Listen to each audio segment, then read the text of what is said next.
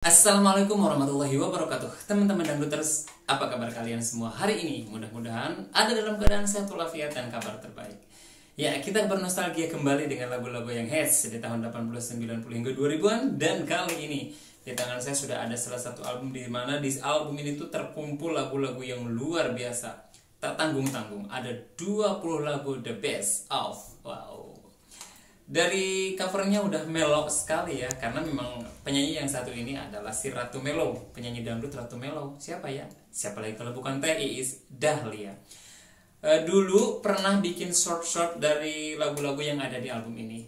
Atau untuk kupas tuntas atau bedah kasetnya belum. Dan kali ini berkesempatan untuk kita membedah dan mengupas tuntas lagu ini atau lagu-lagu yang ada di album ini seperti apa ke-20 lagu yang ada di album ini? Hmm, simak terus videonya ya. Dan berikut cuplikan lagunya.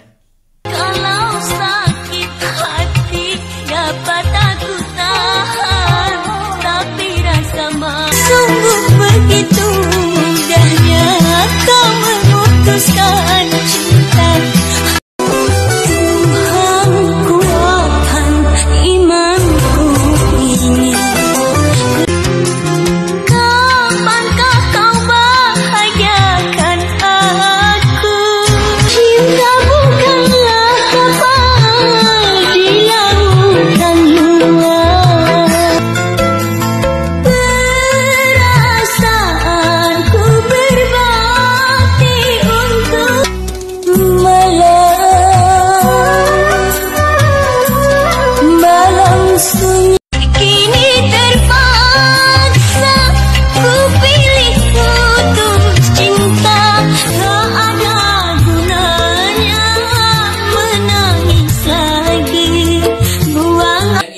kasetnya, covernya, dan ini kasetnya. Di sini bertuliskan Harika Record.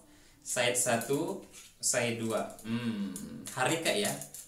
Terus covernya bagus loh, kertasnya juga bagus dan sebagian lagunya ada teksnya. Hmm, meskipun tidak ke 20 lagunya disertakan teksnya tapi sebagiannya ada di sini teksnya.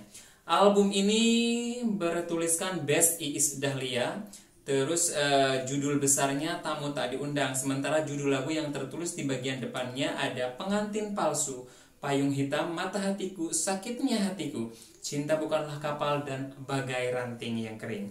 Untuk selengkapnya kita bacakan saja untuk side A-nya. Ada tamu tak diundang, pengantin palsu, payung hitam, cinta bukanlah kapal, malang, matahariku, sakitnya hatiku, darah biru, Air mata tiada arti, halimun malam. Itu untuk side A-nya ada 10 lagu. Dan untuk side B-nya ada Asmara Kurindu. Bagai ranting yang kering, mata hatiku, keagungan Tuhan, renungkanlah bulan purnama, tambatan kasih, cinta hampa, fatwa fujangga, dan tali perkawinan. Wow, lagu-lagunya memang luar biasa sekali ya. Dari kesekian lagu atau dari 20 lagu yang ada di album ini, memang sangat-sangat-sangat luar biasa dan the best banget. Hampir keseluruhan lagunya tahu dan hampir keseluruhan lagunya juga hafal. Wow. Hayes memang luar biasa sekali kalau sedang membawakan lagu-lagu yang melankolis, sedih, sentimental. Untuk soal rasa yang Hayes sampaikan di setiap lagu-lagu yang ia bawakan, wow, sangat melodius sekali. Hmm, luar biasa sekali si Ratu cengkok dan batu nangis tapi sukses selalu pada istri ya.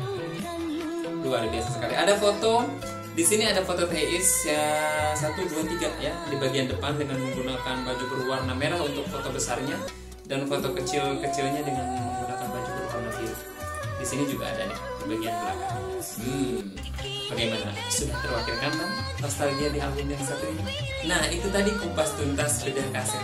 Bebasnya Teis ya. Wow luar biasa sekali ya lagu-lagunya. Pasti di antara para dangduters semuanya punya kenangan tersendiri dari banyak lagu atau sebagian lagu yang ada di album ini. Selamat bernostalgia dengan lagu-lagu yang luar biasa. Terima kasih telah terus menonton video-video bedah kaset atau kupas tuntas lagu-lagu dangdut. Nantikan kembali bedah kaset di edisi berikutnya dari penyanyi dangdut lainnya dan tentunya dari album dangdut lainnya. Wassalamualaikum warahmatullahi wabarakatuh. Salam dangdut.